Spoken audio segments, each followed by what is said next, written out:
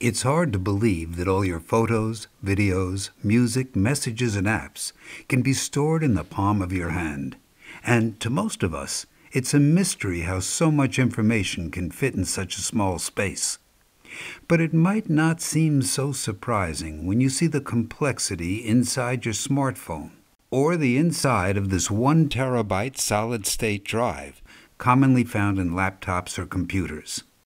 However, as seeing the outside of this memory storage microchip tells us little about how these smartphones and solid state drives can store tens of thousands of photos and files, let's explore deeper and zoom in until we get to a nanoscopic view.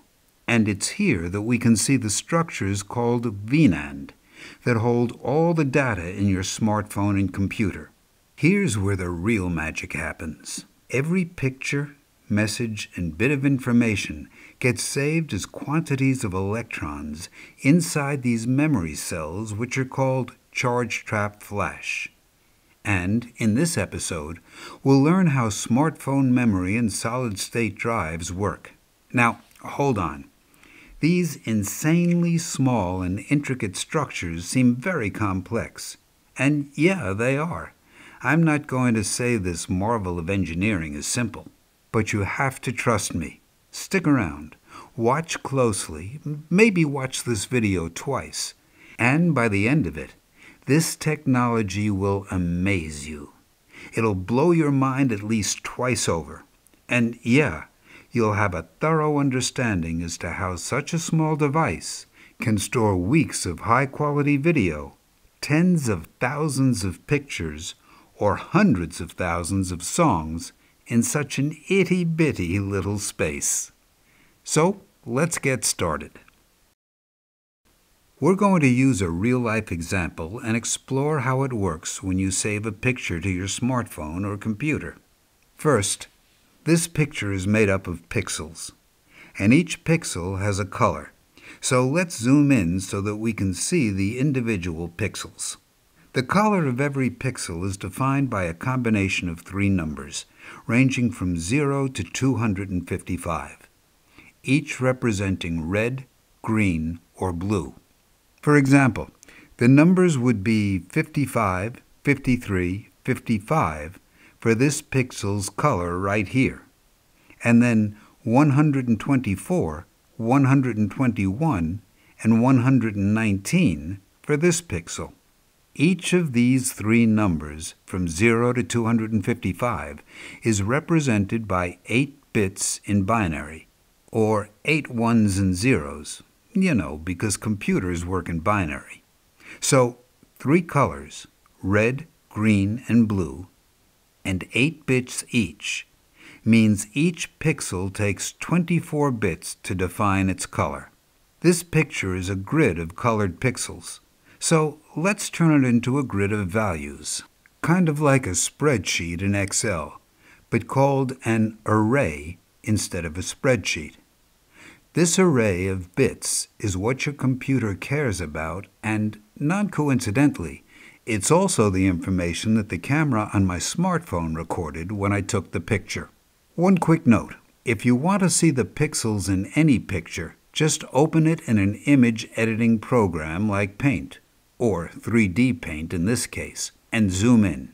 And then if you want to see the red, green, and blue or RGB values, just use the eyedropper, click on a pixel, and then click on the Edit Color option.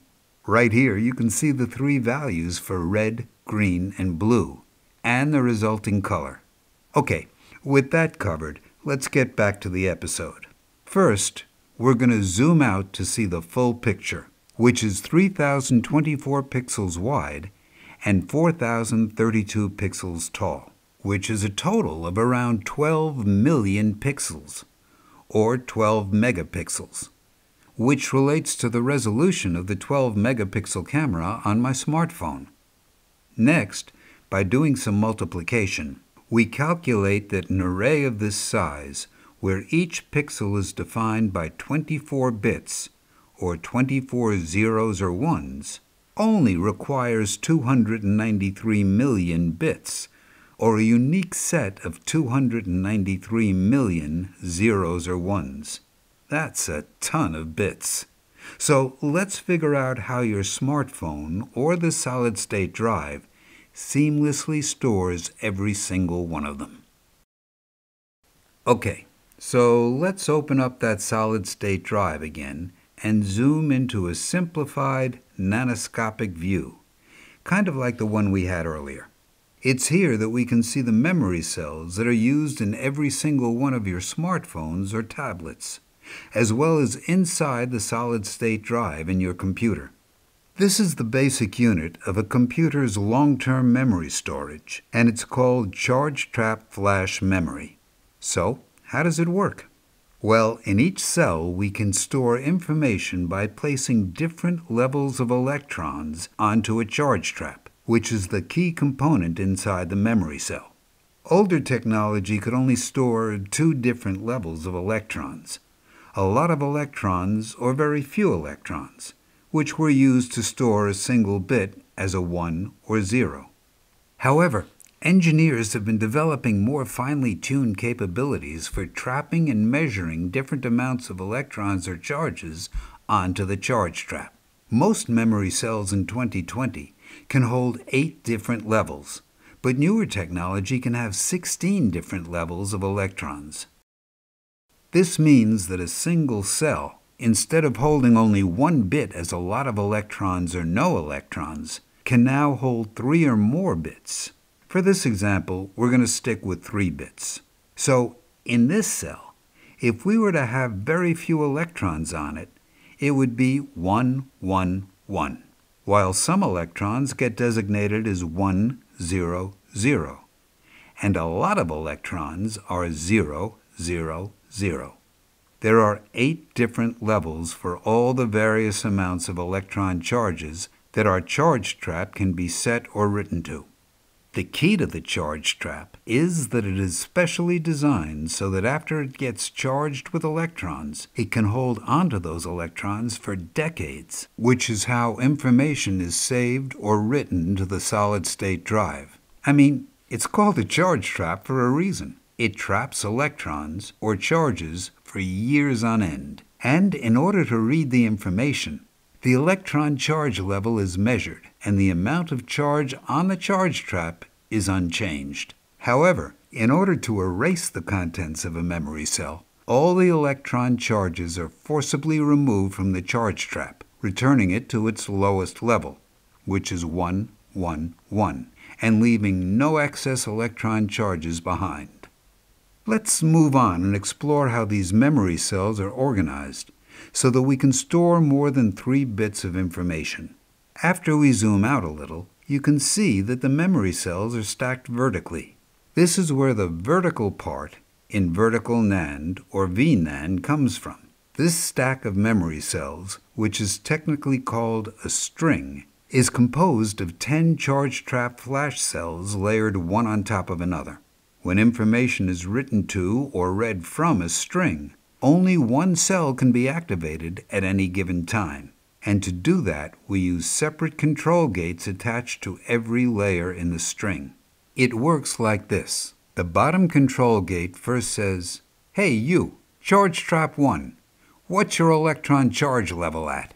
Then the bottom cell sends that information through the center of the string up to the information highway at the top, which is technically called a bit line. Then the next control gate for the second layer asks for the charge level in the second cell, and so on up the string, each cell sending their information up to the highway or bit line. The same kind of sequence happens when charges are being added to a charge trap, which is how information is written to a memory cell. The main thing is that only one layer in the string is either written to or read from at any given time. Let's move on in complexity. Next, we duplicate this string 32 times, and this gets us a page of strings. Let's review some terminology. This is a memory cell, and this is a string. And now here we have a page, and we're going to call this entire page of strings a row. When we duplicate the string, we also duplicate the bit line 32 times, However, rather than duplicate the control gates, we're going to have every cell in the same page share a common control gate. This makes it so that when information is written to or read from a row, an entire page composed of 32 adjacent cells, all in the same layer, are activated at the same time. Let's step up in complexity again. Next, we duplicate these rows six times until we get a block. But we're going to do it 12 times so we can see two blocks. Okay, so again, here we have a column, here's a row, and this is a layer. And now here's a cell, and here's a string. Next we have a page, and finally we have a block. We're going to connect the tops of each string in a column together, so they all share the same bit line. And our bit line is looking like a highway now. In addition, we have to add a control gate that selects between rows so that only one row is using the bit line at a time. These are called bit line selectors. As discussed, these bit lines are like highways, and the selectors at the top act as traffic lights that mediate the flow of information so that only a single row can use the highway or is active at a time. Similarly, the control gates attached to each layer act as traffic lights for the layers. With bitline selectors along the tops of each row and control gate selectors along each layer, the solid-state drive can read from or write to a single page at any given time. Additionally, in order to connect to the bitline selectors and control gate selectors, there are wires that drop down from above and run perpendicular to the bit lines. So let's quickly recap. Eight different levels of electrons are placed on charge traps in order to store three bits of information. These charge trap flash memory cells are stacked into strings, 10 cells tall, which are duplicated into pages of 32 strings in a row. Next, those pages of strings are duplicated until we have a block six rows deep. And here we're showing two blocks. Doing some quick multiplication, we find that there are 3,840 memory cells here, capable of storing a total of 11,520 bits. With each pixel in our picture requiring 24 bits, that means that we can store 480 pixels, or this much of our overall picture. That means you need about 25,000 times the size of this layout to store the contents of this single picture. And here's where we learn about the actual size of a memory chip. All the principles we've discussed remain the same, so keep those in mind. It's just that the size is much more extensive than we discussed in our example. It's hard to pin down exact numbers because manufacturers are continually improving their designs, and they're very secretive regarding what their designs look like. But I'll tell you what I know. The latest designs utilize not 10 layers as in the example, but rather somewhere around 96 to 136 layers tall. Here's a single sheet of paper so you can get a sense of the approximate height of these stacks of memory cells. Now that we understand the height, let's think about the width. A page is around 30,000 to 60,000 adjacent memory cells wide. That means there are 30,000 to 60,000 bit lines in our information superhighway. Blocks are every 4 to 8 rows, and there are around 4,000 to 6,000 blocks. Along the edges are the control gate selectors and the bit line selectors on the other side. Together they comprise what is called a row decoder. And by using both sets of selectors as traffic lights, we're able to access a single page. To repeat this, only one page, 45,000 or so cells wide, ever uses the bit line to read or write information at any given time. All tens of thousands of bit lines feed down here to the page buffer, where the information of a single page is read to or written from. Let's transition to see what an overall chip might look like.